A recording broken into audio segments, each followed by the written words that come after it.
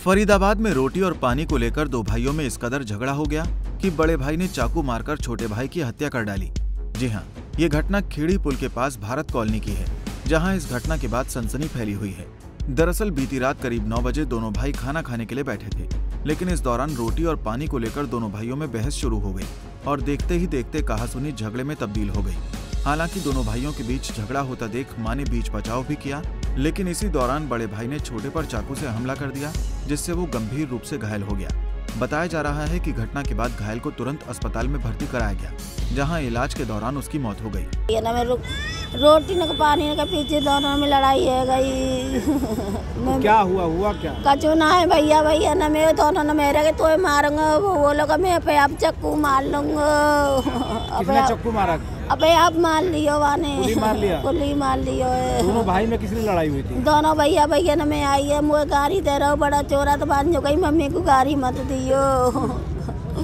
तब आने पे आप ही मार लियो है तो क्या अभी ज़िंदा है या कुछ?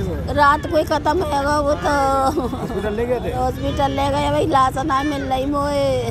थाने में किस लिए आया? ताने में तो यूँ आई भैया। मैं तो जानू ना मैं तो पागल है गई मोह ना पता। मेरे भैया कैसे मिलेगो मिलेगा गई मैं बढ़ती ना करो बेचे तो कहा के रखती हो।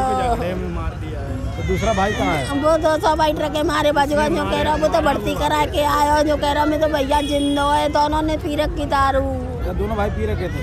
दोनों ने पी रखी है। कौन सी कॉलोनी की मामला है? भारत कॉलोनी है सात नंबर गली वो है एक नंबर गली में।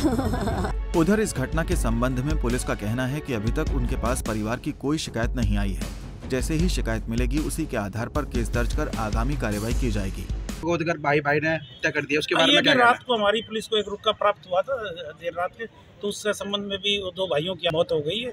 तो उसके बारे में भी अभी कंप्लेंट प्राप्त हुई है उस पर भी आगामी कार्रवाई की। आरोपी आरोपियों को गिरफ़्तार कर लिया गया है या फिर नहीं अभी तक उसका आरोपी वो भाई भाइयों की लड़ाई थी दूसरा भाई का भी मोबाइल स्विच ऑफ़ आ रहा है और हमारी पुलिस उसको सर्च कर रही है और कंप्लेंट हमारे को प्राप्त होने पर आवश्यक कार्रवाई आगामी की जाएगी। बता दें कि जिस वक्त दोनों भाइयों में रोटी को लेकर झगड़ा हुआ उस वक्त दोनों भाई शराब के नशे में धुत थे।